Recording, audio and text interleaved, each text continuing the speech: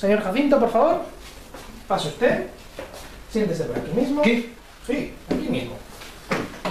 A ver, le explico. Pues usted vaya sentándose sin problema. Esto es un estudio sobre lingüística y necesito que usted lea con naturalidad, no se preocupe usted por el ambiente del laboratorio, que lea con naturalidad los papeles que tiene aquí. Queremos saber los distintos sonidos. Bueno, no lo interrumpo. Usted no se vaya a cortar por el micrófono. No, no, no hace falta. Usted lea a su, a su manera. Como naturalmente, sin, sin que yo le agobie ni nada. Con 100 cañones por banda, viento en popa. Sí, sí, sí, así, así, como lo está haciendo usted, sin, sin, de manera natural. Me voy a quitar las gafas. A ver, y escuchar. Con 100 cañones por banda, viento en popa toda vela, no corta el mar, sino vuela un velero bergantín. Oiga, usted habla así de carratraca. No, no.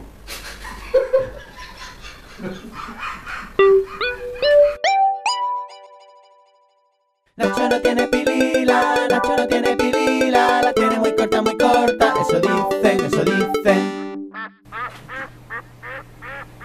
William Leibov, padre de la sociolingüística.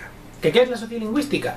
Si os cuento un poquito la vida de William Leibov, seguro que os queda un poquito más claro. William Leibov es la típica persona que nace, solo con la excepción de que nace en 1927 y en Rutherford, New Jersey. Rutherford, New Jersey está al ladito, al ladito de Nueva York, lo justo para no ser New York. En sus propias palabras, suficientemente lejos de la ciudad de Nueva York para que no me considerasen neoyorquino, ni para que me lo considerase yo. ¿Qué sucede cuando tú naces en Rutherford y a los 12 años tu familia decide mudarse a Fort Lee, que ya está dentro de New York, y te conviertes en ese chico bocazas de Nueva Jersey? Así comienza el interés de William por los acentos.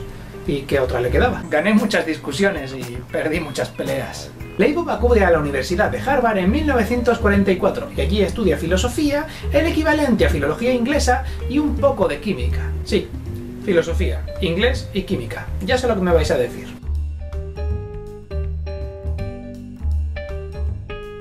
Una vez salido de la universidad y después de unos cuantos trabajos de escritor y tal, decide aprovechar sus conocimientos de química y se mete a trabajar en una fábrica de tinta, donde estará 12 largos años. Como tiene buen ojo para la investigación, se le da muy bien el proceso de la fabricación de la tinta. Y como tiene muy buen don de gente, se le da muy bien hablar con todos los trabajadores. Es la primera vez que tiene contacto directo con la gente de la calle. Habla con los trabajadores de la tinta y se da cuenta de lo inteligentes que son y de conocimiento que tienen para hacer una cosa tan mundana y la cantidad de dinero que ganan los vendedores por hacer otra cosa que vender humo. Eso le diferenciaría de muchos otros académicos que solo han estado en la senda académica. Instituto, universidad, universidad. De mis experiencias con el trabajo industrial adopté un profundo conocimiento del mundo real. Si cubres una placa metálica de barniz y lo dejas expuesto seis meses al sol y seis meses después se desquebraja, sabes que hace seis meses cometiste un error. Y puede que no sepas en qué te equivocaste, pero tienes la seguridad de que has fallado en tu tarea de proteger una placa metálica del exterior. También puede darse el caso de que tengas una enorme máquina imprenta offset de cuatro cuerpos delante la máquina parada y un vicepresidente de la compañía diciéndote que si la tinta no está lista en 15 minutos perdemos una cuenta de 2 millones y yo pierdo algo más. Si consigues que los cilindros impriman tinta, has tenido éxito. Si no, mal. En 1961 deja el mundo de la tinta para irse a estudiar otra vez a la Universidad de Columbia. Las restricciones económicas del mundo empresarial no le resultan nada interesantes. El mundo real y el mundo académico tienen unas diferencias fundamentales. Si tú consigues una mejora en una tinta, no puedes publicarla porque tus competidores se van a enterar y pierdes tu ventaja. En la universidad se encuentra con un grupo de gente joven, energética, llena de ideas y de peleas y de debates de un nuevo campo, la lingüística. Eso sí, nada más poner los pies allí se da cuenta de una cosa. Son investigadores, llamámosle de salón. La mayor parte de sus investigaciones no sale del sitio donde los están investigando, de, de entre ellos mismos, sus teorías, sus cabezas, o como mucho unas investigaciones que hacen por la facultad, a gente universitaria, con lo cual no son muy fiables. De hecho, es que el concepto es que el, estudiar la lengua es una cosa súper complicadísima. A ver, os explico. Acaban de hacer un avance súper importante que es salirse del prescriptivismo, que ya es algo, es decir, el lenguaje es cuadriculado, es así, y tiene que ser como el latín, y los lenguajes no pueden evolucionar porque evolucionar es súper malo. Lo han dejado al lado y han empezado a investigar cosas como, no, no, espérate, es que cada persona habla de manera distinta, como, ostras, pero a ver, si tú hablas distinto que yo porque utilizamos cada uno un sistema gramatical distinto, ¿cómo es posible el lenguaje? Estamos hablando de que el lenguaje no puede ser explicado de manera científica. ¿Y cómo salimos de ese super embrollo lingüístico? Se hace de dos maneras. La primera rama es la de la escuela de Chomsky y demás, que se dedican a, vamos a estudiar el lenguaje, vamos a ir a la base, al- a, la raíz misma del lenguaje, y cuando ya tengamos la raíz misma del conocimiento del lenguaje humano, ahí podemos ir al mundo real. La otra rama es la que utiliza Leibov. Leibov dice, a ver, no, no, yo no quiero describir el lenguaje humano, yo quiero describir a los hablantes, a las comunidades lingüísticas. Una mezcla correcta de tinta no se hace discutiendo con tus colegas cómo sería la mejor mezcla, como si mezclamos este pigmento con esta base, ¿qué conseguimos? No, uno se va al laboratorio, se mancha las manos de tinta y consigue la mezcla perfecta. Leibov quiere resultados, quiere experimentar con hablantes. Así que, ¿qué es lo que hace? Se va a la calle y después se va al laboratorio a investigar con las cosas que ha conseguido en la calle. Su primera investigación, que se convertiría en su tesis, la hizo en la isla de Martha's Vineyard, donde él solía ir de vacación. Ahí, en esa isla, había una pequeña población de pescadores, casi un 4%, pero que eran los que habían vivido allí toda la vida, los que guardaban los valores y las creencias de un pescador de Martha's Vineyard. Leibov descubrió varias cosas. La primera es que los pescadores marcaban fuertemente su acento cuando hablaban con un extranjero, como él. Y la segunda, que la gente que había llegado nueva a la isla, a lo mejor hace dos o tres generaciones, intentaban, intentaban adoptar los rasgos dialectales de aquellos pescadores. También descubrió, más interesante todavía, que los jóvenes que tenían pensado abandonar la isla e ir a buscar una vida mejor en el continente, abandonaban rápidamente la forma de hablar del dialecto de prestigio, a diferencia de los otros jóvenes que estaban satisfechos con su vida de una pequeña isla de pescadores y reforzaban su acento. Leibov, durante esas investigaciones, descubre que tiene que vencer la llamada paradoja del observador, es decir, conseguir que los hablantes hablen de manera natural a pesar de que haya un entrevistador con un micrófono delante. Así que en lugar de entrevistarles se dedica a charlar con ellos, hablándoles de un tema que todo americano conoce, la Declaración de la Independencia. En lugar de decirles, oye, ¿tú cómo usas la R cuando dices la palabra right? Les pregunta, oye, en la Declaración de la Independencia, cuando dicen lo de el derecho a la vida, a la libertad y a la búsqueda de la felicidad, ¿qué crees que se están refiriendo con derecho? Y así el hablante, sin darse cuenta, filosofaba utilizando continuamente la palabra right. Presenta sus descubrimientos delante de la Sociedad Lingüística de América. En esa época, cuando presentabas una disertación, lo tenías que hacer delante literalmente de toda la comunidad lingüística. Imagínate la presión. Yo pensaba que iba a tener que defender mis ideales a capa y espada, que me iba a vencer la presión de mis colegas y que solo conseguiría el respeto de mis compatriotas cuando ya peinase canas. Imagínate mi sorpresa cuando aceptaron mi disertación. Se lo tragaron con patatas. Su siguiente investigación sería una de las que se hicieron más famosas, la de los centros comerciales de Nueva York. La hipótesis de Leibov, simplificándola mucho, era la siguiente. Los hablantes de distintas clases sociales utilizaban la R de manera distinta. Leibov elige tres tiendas. La primera, Saks, en la Quinta Avenida, donde están todos los ricos. La segunda, Macy's, de clase media, donde van toda la gente de clase media a comprar ropa. Y la tercera es Kleins, eh, Carrefour.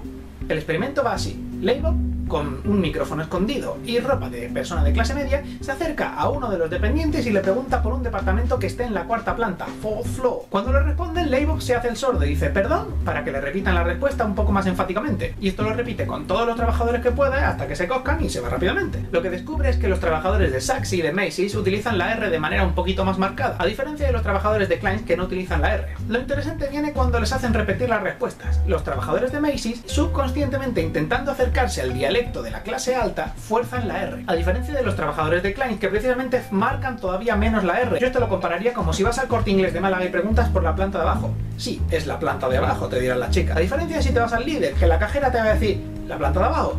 chiquillo, la planta de abajo y te va a marcar la S sonido que solo podemos hacer los andaluces. Las variaciones entre individuos y a través del tiempo, que en un principio parecían tan caóticas, se iban desengranando y poco a poco podían tomar una forma que podía explicarse utilizando las matemáticas. Ya siendo profesora en la Universidad de Columbia, se embarca en un proyecto todavía más ambicioso, descubrir por qué los niños de la comunidad negra del Harlem tienen problemas para leer. Todos los estudios hasta la fecha sobre el tema se habían llevado a cabo por psicólogos, por trabajadores sociales, con gente que no tenía mucha idea de lingüística y que francamente tenían ideas muy racistas. Parafraseándolo mucho, esos estudios habían llegado a la conclusión de que los niños crecían en un ambiente lingüísticamente pobre, que recibían muy poquito estímulo verbal y que como estaban expuestos a conceptos poco elevados, en su cerebro se formaban conceptos poco elevados y no eran capaces de expresarse con la misma normalidad que los niños blancos. Eh, básicamente lo que decían en esos estudios es que los negritos hablan mal porque los padres también son negritos y hablan mal y vaya, que los negros son mal. Es que no has visto lo que el viento se llevó. ¡Ay, señorita Carla! Eh, Tú me entiendes, ¿verdad? ¿Tú me entiendes? Sí, a Leibov le sonó igual que a vosotros. Lo primero que descubre al plantarse allí con investigadores tanto blancos como negros es que los niños de Harlem no responden bien ante los adultos. Se quedan callados dicen sí, no, bueno, Ya ves, porque están acostumbrados a que delante de una figura de autoridad ni se habla ni se expresan opiniones. Así que tiene que cambiar su experimento. Sus entrevistadores se sientan en el suelo, les ofrecen patatas fritas, utilizan palabras tabú delante de ellos. Caca, pito. ¿Piensa que el profesor Thompson utilizará caca para hacer caca? ha dicho caca. ha dicho caca, no, tú sí que has dicho caca. Y de repente comenzaban a hablar los niños. Y demostró con sus investigaciones que los niños negros de Harlem tenían unos estímulos lingüísticos superiores a los niños de la clase media y de hecho tenían mejor vocabulario. Los niños negros de Harlem tenían la misma habilidad para expresar ideas complejas que los niños de clase media, que les diferenciaba que utilizaban otro dialecto. No es que hablasen mal el inglés estándar, es que hablaban bien el inglés vernáculo afroamericano, su propio dialecto. Y lo más importante de todo que 50 años después todavía cuesta hacerle entender a la gente. El habla dialectal es exactamente igual de válida que el habla estándar para hacerse comunicar ideas. Lo triste fue volver 10 años más tarde y descubrir que una gran mayoría de los chicos a los que habíamos investigado estaban o muertos por tiroteos, o en la cárcel, o en guerras de bandas. Todavía no hemos aprendido a llevar nuestro conocimiento a las escuelas y de las escuelas a las calles. Nuestra tinta no había protegido al metal y se resquebrajaba. En 1996, en mitad de una explosión, una tormenta mediática, controversia, en una escuela de Oakland está enseñando inglés vernáculo a los niños, mm, segregación, los niños van a aprender un lenguaje distinto, él decidió dar su apoyo durante el juicio a esa escuela. Se había tergiversado, no es que estuviesen intentando enseñar un idioma a unos y un idioma a otros, al revés. Lo que había hecho la escuela era pedir fondos para formar profesores para que hablasen en lengua vernácula africana. El argumento de Leibo era el siguiente, si hasta ahora hemos intentado castigar a los niños que hablan de manera dialectal forzándoles a hablar el estándar y no ha funcionado, ¿por qué no probamos a poner a los dos dialectos juntos y así que los dos grupos tengan las mismas oportunidades? Si la lengua es una herramienta y tenemos un destornillador plano y un destornillador de estrella, ¿por qué no utilizamos un tornillo al que le quepan las dos cabezas? Y yo os habéis hecho una idea de cómo ha cambiado Leibov el mundo de la sociolingüística. No, de hecho no tenéis ni idea. Como 10 años después, de repente de descubre, ¿os acordáis del Great Vowel Shift? De ese vídeo, pues de repente Leibov le da por irse a los Grandes Lagos y descubre que hay un enorme Great Vowel Shift en la zona de los Grandes Lagos, hay otro Great Vowel Shift en el sur y en Canadá. Sí, en Canadá también tienen otro Great Vowel Shift. ¡Ah! Y cambia el mundo también de la fonética. Va fonética. Y también, como el muchacho se aburría, además de cambiar el mundo de la sociolingüística a la vez y durante los mismos años, 40, 50 yo que sé cuántos años lleva ese hombre, ha desarrollado la teoría de la narrativa, de hablar con gente, de tantas entrevistas, de tanto quedar con gente y charlar en la, en la puerta de sus casas, ha desarrollado toda la teoría sobre cómo habla la gente, cómo narra la gente sus historias, cómo es la lógica detrás de las historias y qué hay detrás de esas cosas, los mitos y... Joder, Leibov, deja algo para los demás, que te ha faltado inventar los tranchetes. No- normalmente las biografías de gente así tan grande y tal acaban con la muerte de la persona, pero es que Leibov sigue vivo, de hecho sigue activo en su campo. De hecho, no ha dejado de enseñar en la universidad hasta hace un par de meses, en, en 2014. Y acabo este vídeo sobre una persona chachi con la siguiente idea. ¿Tienes 18 años y no sabes qué estudiar, no sabes qué hacer con tu vida? Vale. ¿Acabas de acabar la carrera y no sabes qué vas a hacer con tu vida? Vale. Puedes seguir el ejemplo de Leibov. William entra en Columbia con 34 añazos. Y como siempre, muchísimas gracias a la gente chachi de Patreon porque está haciendo que yo tenga un poquito de tiempo para hacer estos vídeos de lingüística. Si tenéis cualquier duda, comentario, cosas sobre Leibov o sobre yo o sobre este pato de aquí, ya sabéis, lo podéis dejar en los comentarios y os dejo con esta idea. Recuerdo que un chico de 14 años se me acercó una vez en Albuquerque y me dijo, a ver, a ver, a ver, no entiendo.